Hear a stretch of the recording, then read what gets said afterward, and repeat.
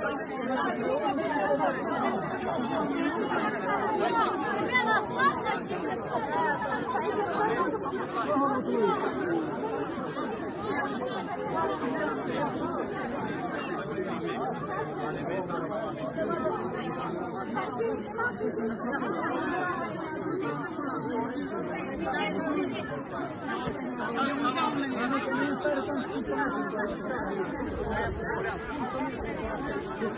我操！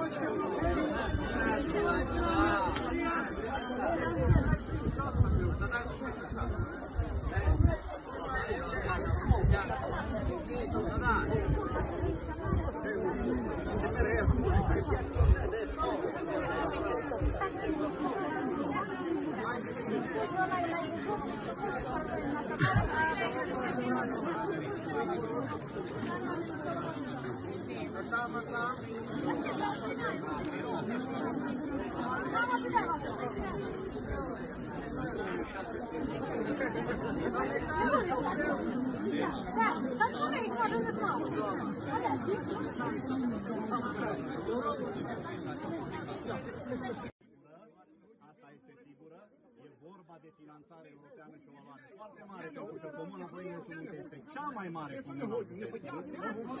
Și ca întindere, și ca lungimi de rețele de drumuri, observați că după orașul Baia Mare, Coinile de Subunte va avea cei mai mulți bani alocați și noi nu ne permitem să pierdem această finanțare istorică, zicem noi, pentru că 21 de milioane de euro nu vor intra în Comuna Voinești, n-au intrat și nu vor intra nici uh, după ce, după ce rețeaua de apă și canal va fi finalizată. Deci este o investiție foarte mare de care rog cetățenii să înțeleagă că nu putem da cu piciorul acestei investiții. Am înțeles destul, domnul primar. Patru mandate l-am așteptat. Domnul primar, dar noi, până ce, domnișoară, până ce se face drumul, până ce se reabilitează, dacă durează un an, doi ani, noi suntem de acord, dar fără tonaje se urcă sus să nu ne mai crea pe căști, că luăm televiziunea în căști. Cine ne descube, despăgubește pe noi?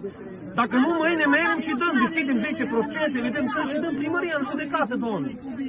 Haideți în casă, ne cunoaștem, ați cunoscut și pe taică meu.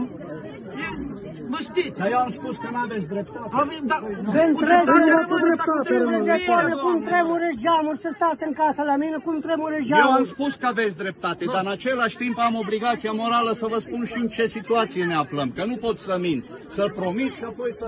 Și cum noi nu avem dreptate dacă oprim trenurile astea? Nu că este drum public, este drum strategic. Restricțiile de tonaj eventual